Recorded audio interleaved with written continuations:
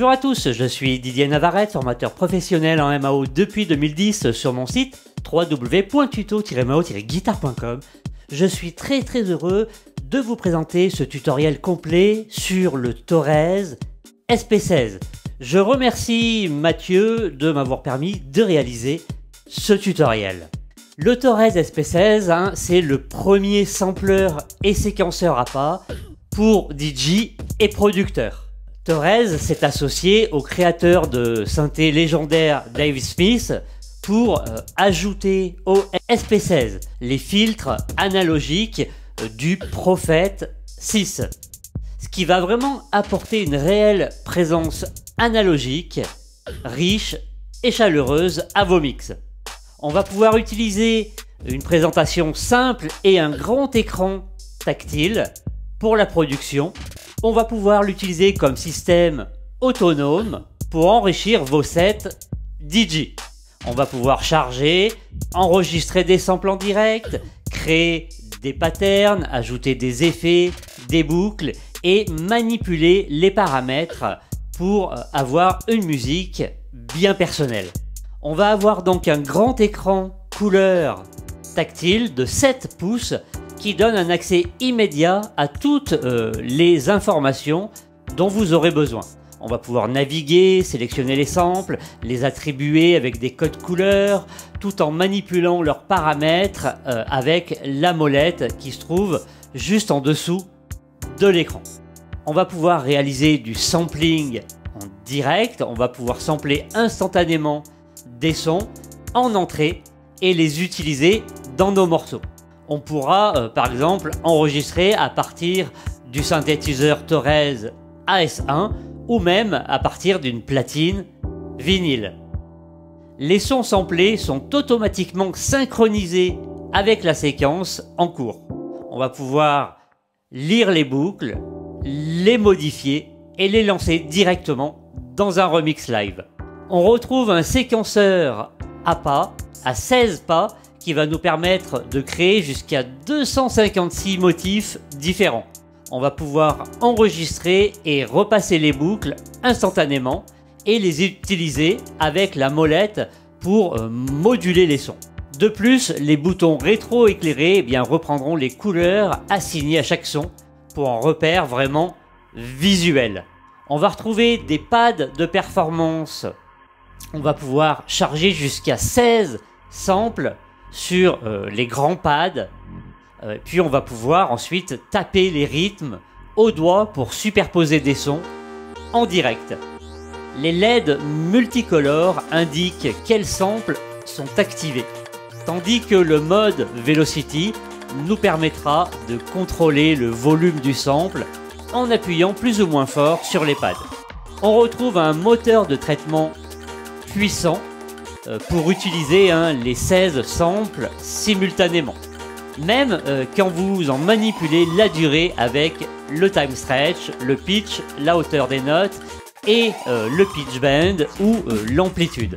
On aura également une enveloppe et on aura 8 Go de mémoire flash pour assurer suffisamment d'espace afin d'utiliser le Torres SP16 de manière complètement autonome, c'est-à-dire sans avoir besoin d'un ordinateur. Comme je vous le disais, on va retrouver les filtres analogiques de Dave Smith. Donc le Torres SP16 possède les mêmes filtres analogiques que le célèbre synthétiseur Prophet 6 de euh, Dave Smith Instruments. On va pouvoir ajouter du drive, changer le cutoff et la résonance. On va retrouver également une bande tactile pour contrôler instinctivement eh bien, divers paramètres, dont le pitch par exemple. On a une compatibilité USB, c'est-à-dire qu'on va pouvoir charger des sources de son sans euh, devoir encombrer un périphérique USB. On va avoir de l'aide à la création de projets avec le logiciel DJS TSP. Donc euh, on pourra créer des projets SN aussi bien sur Windows que sur OS X en utilisant le logiciel Project Creator DJS TSP.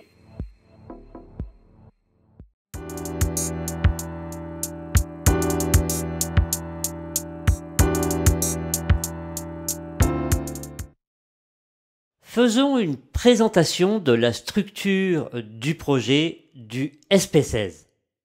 Le projet euh, rassemble tout ce, que l'on peut créer euh, soi-même.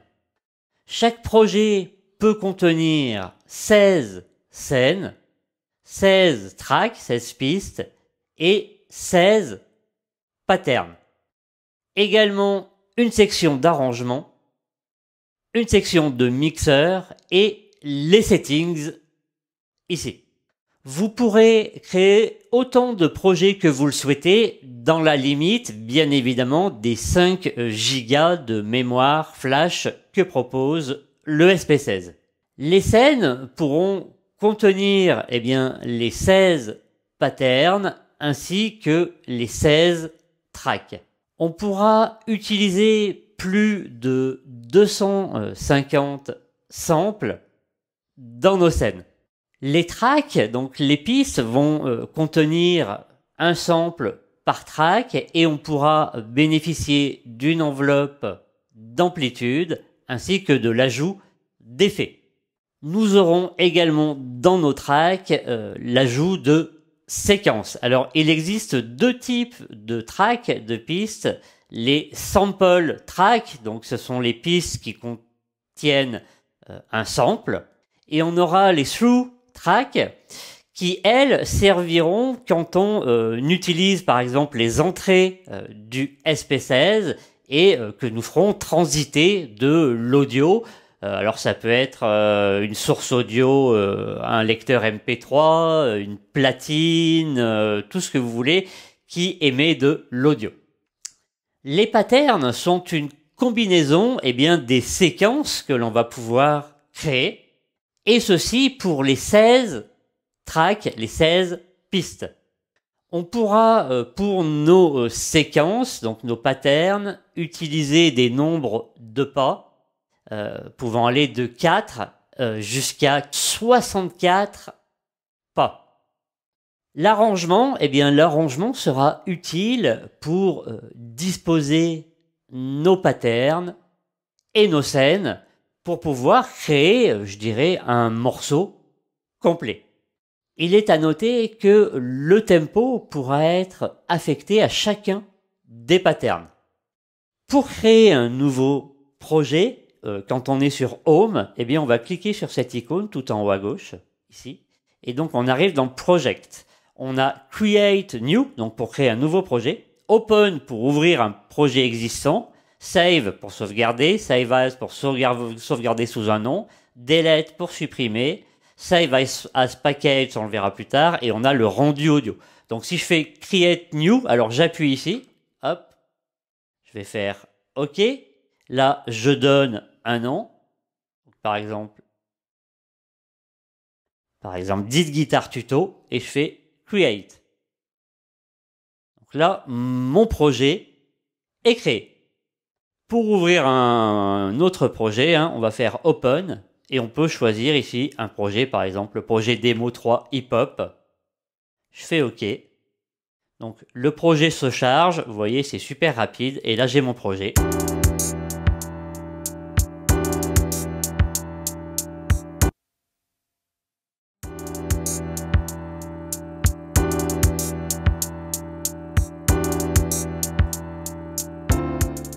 Parcourir et assigner des samples. Eh bien, c'est très simple, vous allez voir, je vais sélectionner ma track 1 ici, je double tape dessus.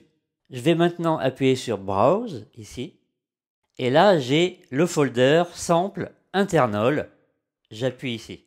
Donc là maintenant je peux tourner cet encodeur, appuyer dessus, aller dans Sound, appuyer, et là je découvre tous les dossiers. Et là, je peux ouvrir les dossiers et naviguer parmi les samples.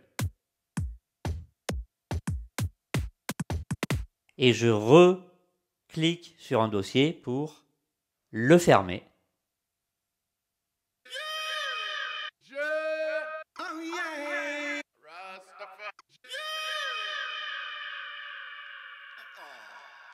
Si j'ai plusieurs dossiers ouverts, comme ceci, et, que je veux naviguer parmi euh, eh bien, les sous-dossiers et pas les samples, eh bien, je peux appuyer sur Shift. Et là, vous voyez, je saute directement de sous-dossier en sous-dossier. Je veux aller jusqu'au synthé.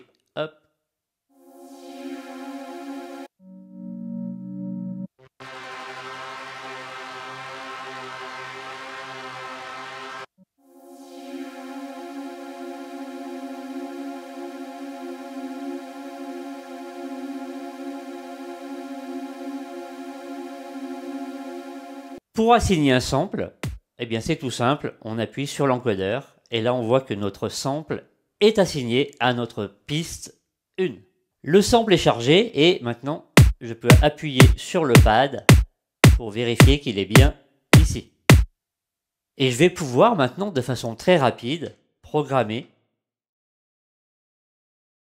mon sample sur le séquenceur. Si je fais play, Alors mon kick sur tous les temps. Alors ça, on y reviendra hein, sur le, step séquenceur, mais vous voyez que les temps sont signifiés par les rectangles blancs ici, 1, 5, 9 et 13. On peut également faire une recherche avec du texte. Je vais appuyer sur Filter Type ici. Donc là, je peux sélectionner texte et je pourrais taper par exemple basse. Je fais Go et là, j'ai tous mes samples de basse disponibles ici.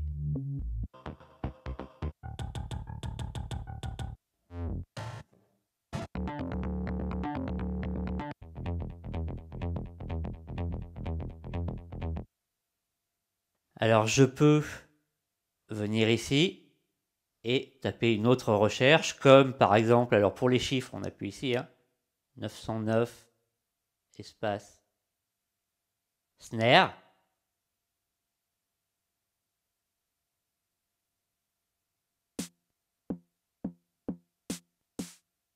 Et là, je peux l'assigner sur ma track 2 en appuyant sur track, deuxième pad, et mon sample est assigné ici.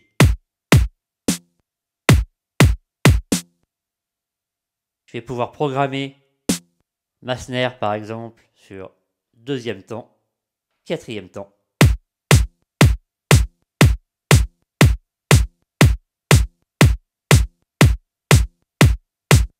Allez, faisons de nouveau une recherche. Texte. Je vais taper 909. Donc là, j'ai du close hi-hat en soft. Donc, je vais choisir ma track 3 je la signe, et là je peux la programmer sur tous mes steps.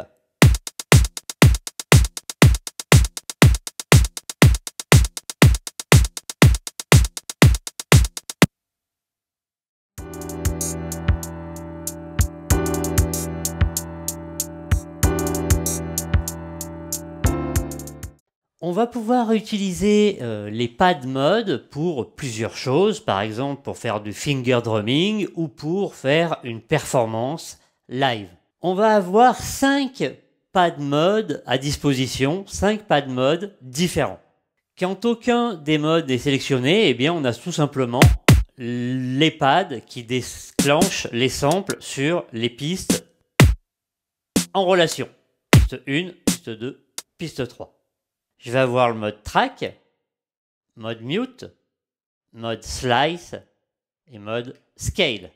Le track mode, eh bien, quand on appuie sur un pad, ça va non seulement déclencher euh, le pad sur la piste, mais ça sélectionne la track, la piste et son euh, séquençage ici.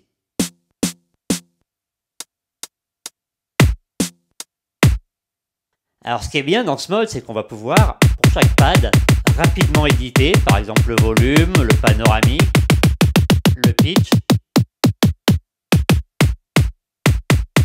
le time stretch, la fonction loop et le trigger mode, soit one shot, soit gate. Le euh, mode mute eh bien, va nous permettre de muter les pistes. Donc si je fais jouer,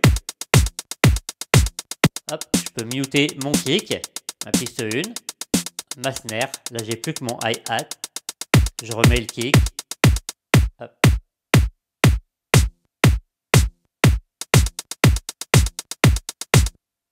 Mais on va pouvoir, dans ce mode-là, faire aussi du solo de, de track. Donc c'est tout simple, on appuie sur Shift. Et là, j'ai mon kick en solo. Hi-hat.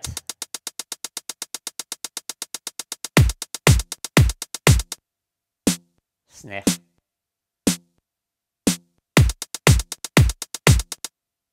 Le mode slice va nous permettre de slicer le sample. Alors là, c'est le kick en 16 parties découpées.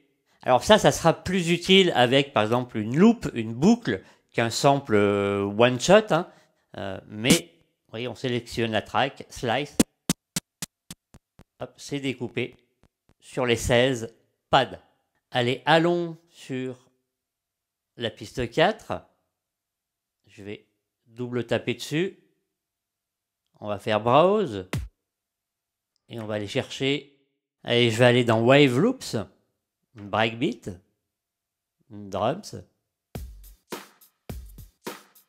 Je vais prendre celle-ci.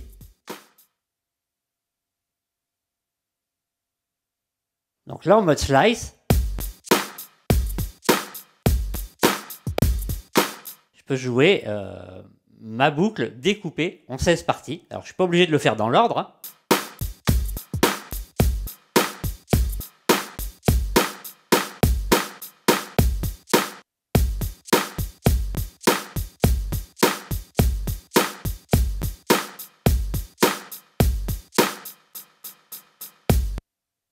Allez, je vais aller sur la piste suivante, Browse. Je vais aller, non pas dans les loops, mais dans les sounds. Et si je veux, par exemple, dans le DM, on va prendre synth. Je vais prendre celle-ci. Et donc là, en mode scale, eh bien, je vais pouvoir jouer mon son.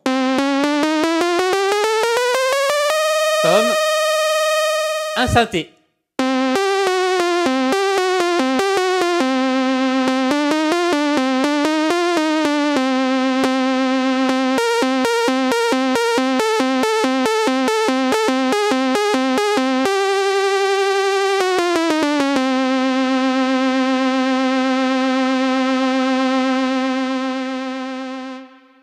Donc là, je peux euh, changer le pitch. Hein.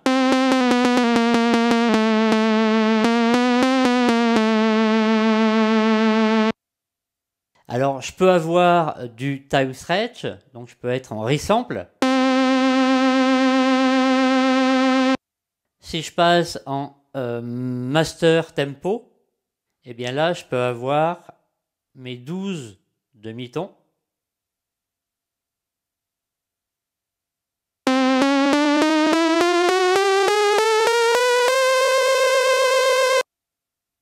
Alors je peux me mettre ici en trigger sur gate, ce qui fait que, vous voyez que dès que j'enlève le doigt, ça coupe le son. Donc ça c'est plutôt intéressant. Et après je peux changer hein, le pitch encore une fois, euh, si je veux quelque chose de plus aigu. Voilà. Et je peux faire jouer